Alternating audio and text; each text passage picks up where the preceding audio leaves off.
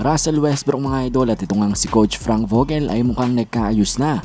Mukhang nagkabati na sila matapos ang insidente ng pagbabangko nga dito kay Westbrook.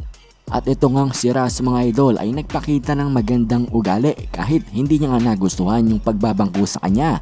Sinabi niya nga mga idol na ang kanyang trabaho daw bilang isang Lakers player at bilang isang professional ay gawin kung ano nga daw ang hinihingi sa kanya ng coaching staff at patuloy nga daw maghanap ng paraan para nga matulungan ang kanyang team na manalo.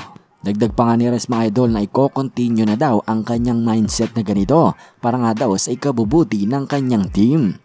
Yan nga mga idol ang napakagandang sagot ni Westbrook at napakagandang reaksyon niya sa pagbabangko nga sa kanya ni Coach Vogel.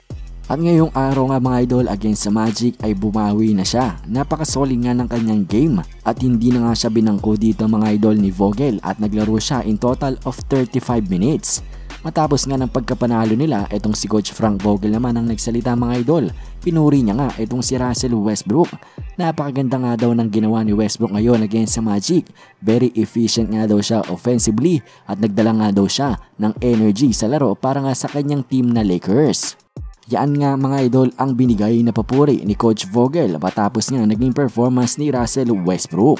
At mukha nga mga idol nagkaayos na ang dalawang ito. Siguro't nag-usap na nga sila behind the scenes at mukha nga nagkaintindihan na silang dalawa. So yan nga mga idol ang ating balita about dito kay Coach Frank Vogel at kay Russell Westbrook. At sa ating next balita naman mga idol, Golden State Warriors. Sobrang nag struggle ngayon dahil nga wala ang kanilang player na si Draymond Green. Ngayong season nga mga idol kapag itong si Draymond Green ay wala sa Warriors 4 and 7 ang kanilang record. 4 wins, 7 losses. Isa nga yung patunay mga idol na itong si Draymond Green ay talagang valuable dito sa team ng Warriors. Hindi lamang defensively dahil natutulungan niya nga rin sa mga offensive sets itong kanyang team na Warriors lalong lalo na ang kanyang superstar teammate na si Stephen Curry.